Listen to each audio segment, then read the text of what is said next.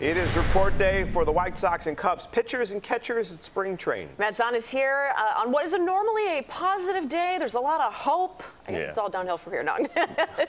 Yeah, unfortunately, a bit of a dark cloud hanging over the opening of White Sox camp with one of their big free agent signings joining his teammates despite being under investigation. Marshall Harris is live in Glendale, Arizona, where both Mike Clevinger and Rick Hahn spoke.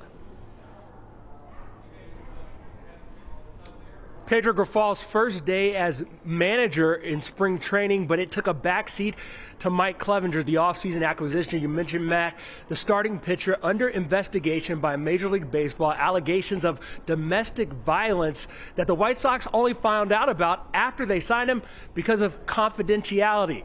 Now, Clevinger has been in camp since Friday, and he says he expects to be completely exonerated from any and all allegations against him that he abused his child or the child's mother. Clevinger, who has a past of what he admits is immaturity, chose to speak publicly for the first time to address what he called the elephant in the room.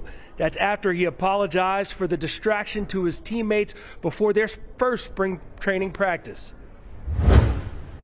Pretty disappointed we have to start off this way. I mean, this is pretty devastating to me and my family, and I know I feel terrible for my teammates having to answer questions, for you having to ask them a bunch of questions about this.